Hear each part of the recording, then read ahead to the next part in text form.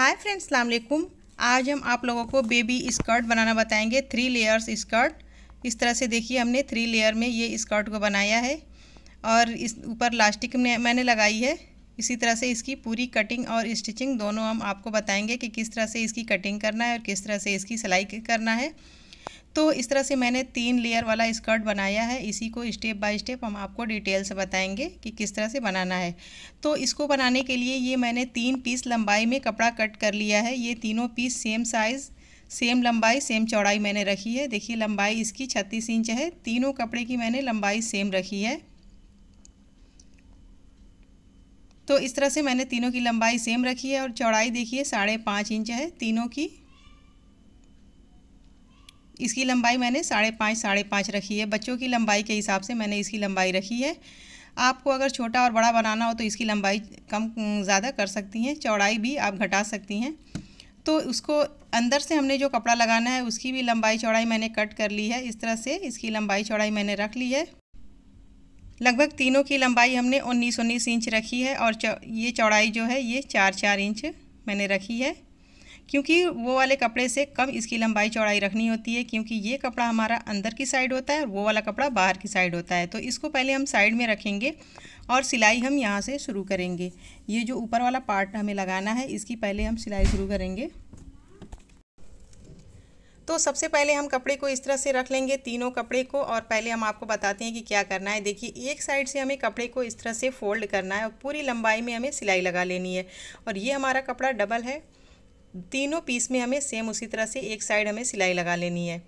उसके बाद सिलाई लगाने के दूसरी साइड जो रहेगी, उधर हम इस तरह से चुनट बना लेंगे।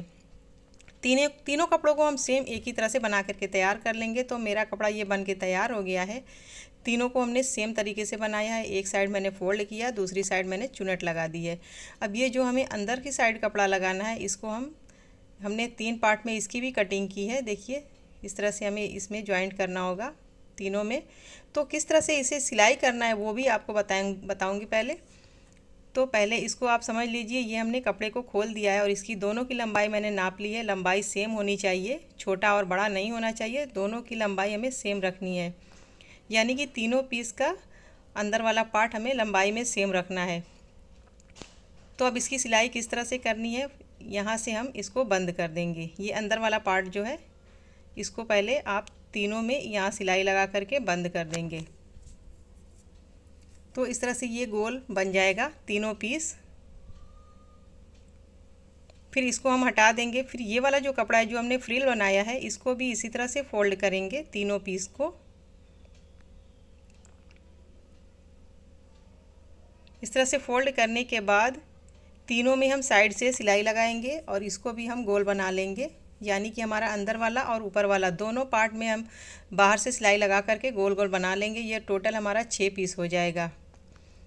तो अब ये अंदर लगाने वाला पार्ट जो है, इसको हम लेंगे। इसको किस तरह से ज्वाइंट करना है, वो आप, हम आपको बताएँगे। ये जो हमारा कपड़ा है, इसकी साइड हम पकड़ेंगे, जो हमारे किनारे की साइड है सिलाई वाली। वहाँ से हम अंदर की साइड से ये जो अंदर लगाने वाला इनर जो हमारा है, उसको हम अंदर से इसको रखेंगे इस तरह से। और जो हमारा एक्स्ट्रा ये कपड़ा थोड़ा लूज़ है ऊपर वाला, उसे हम चुनट दे करके हम उसको बराबर सेट कर लेंगे और पूरे गोलाई में एक सिलाई लगा करके दोनों को एक साथ फिक्स कर लेंगे। उसी तरह से हमें तीनों पार्ट को तैयार कर लेना है। तीनों पे सिलाई लगा करके, देखिए हमने तीनों को एक जैसे बना लिया है सिलाई लगा करके। देखिए ये हमारा कपड़ा देखने में डबल लगेगा, लेकिन दोनों अलग अलग है। तो इस तरह से तैयार कर लेने के बाद अब हमें एक में एक को ज्वाइंट कर लेना है। यानी कि तीनों को हमें एक दूसरे के साथ ज्वाइंट करना है। तो ज्वाइंट करने के लिए मैंने ऊपर वाले पार्ट को उस साइड अलग कर दिया है और अंदर वाले पार्ट को एक साइड छोड़ दिया है। और दूसरे वाले पार्ट को इसी के ऊपर मैंने रखा है इस तरह से। और इसको हम यहाँ से दोनों का साइड हम एक साथ पकड़ेंगे और इस पर हम पूरी गोलाई में एक सिलाई से इसको ज्वाइंट कर देंगे। पूरे में सिलाई लगा लेंगे। उम्मीद है कि आपको समझ आ गया होगा। अगर ना समझ आया हो तो एक बार फिर से आपको दिखा देती हूँ कि किस तरह से इसको पकड़ करके सिलाई करना है। देखिए, ये ऊपर वाला पार्ट है, इसको हमने इस तरह से कर लिया है, यानी कि ऊपर वाला पार्ट हमने उस साइड कर दिया और इनर हमारा इस साइड है। और ये नीचे वाले पार्ट को हमने यहाँ रखा है। अब दोनों को हम एक साइड इस तरह से रखेंगे और दोनों में सिलाई लगा करके इसको गोल बना लेंगे। तो देखिए, हमने इसको इस तरह से सिलाई करके बना लिया है। एक में दो घेर हमने ज्वाइंट कर लिया। है तीसरे वाले को भी हम सेम उसी तरह से ज्वाइंट कर देंगे।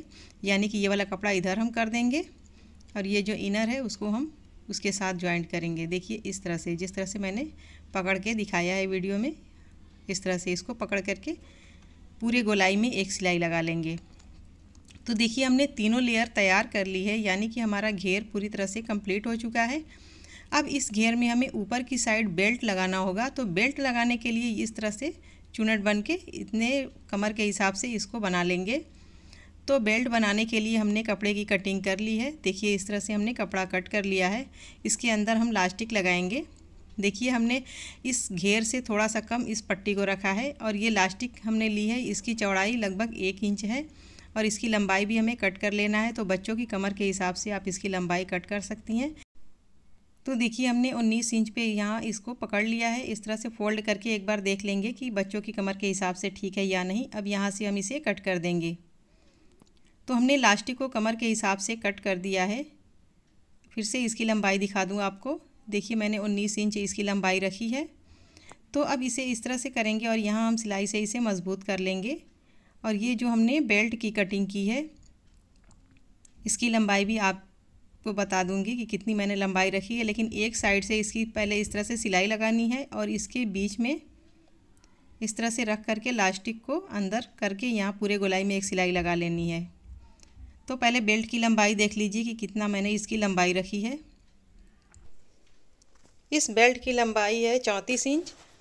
मैंने घेर से थोड़ा सा कम इसकी लंबाई रखी है और चौड़ाई मैंने चार इंच रखी है, क्योंकि घेर से थोड़ा सा कम मैंने इसलिए रखी है क्योंकि इसको ज्वाइंट करने में हम घेर को थोड़ा थोड़ा चुनट और बढ़ा करके इसमें ज्वाइंट कर लेंगे, इस तरह से एडजस्ट कर लेंगे। तो पहले हम बेल्ट को बना लेंगे। देखिए, हमने, मैंने बेल्ट को बना करके तैयार कर लिया है। अब इस बेल्ट को इसमें हमें ज्वाइंट कर लेना है। तो ज्वाइंट करने के लिए पहले हम इस घेर को उल्टा कर लेंगे। इस तरह से हमने उल्टा कर लिया है इसको। इसकी उल्टी साइड करने के बाद ये जो बेल्ट है, इसकी साइड हम लेंगे और इसकी साइड दोनों का जो ज्वाइंट है, एक साथ पकड़ लेंगे और इस तरह से हम सिलाई लगाते जाएँगे पूरे गोलाई में। अगर हमारा घेर थोड़ा सा ज़्यादा होगा तो हम चुनट देंगे जगह जगह और इसको सिलाई कर देंगे। तो देखिए, मैंने इसकी सिलाई कर ली है। ये ब्लैक कलर की वजह से वीडियो में साफ़ नहीं दिख रहा है, लेकिन ये हमारा स्कर्ट बहुत ही अच्छा बन के तैयार हुआ है। इस तरह से मैंने थ्री लेयर स्कर्ट बना करके पूरी तरह से कंप्लीट कर लिया है। ये मैंने सफ़ेद शर्ट के साथ इसको बनाया हुआ है। तो उम्मीद है कि आज की हमारी यह स्कर्ट की वीडियो आप लोगों को बहुत पसंद आई होगी। अगर वीडियो पसंद आई हो तो लाइक करें शेयर करें। हमारे चैनल को सब्सक्राइब करना ना भूलें। अगली वीडियो में फिर मिलेंगे। तब तक के लिए अल्लाह हाफिज़।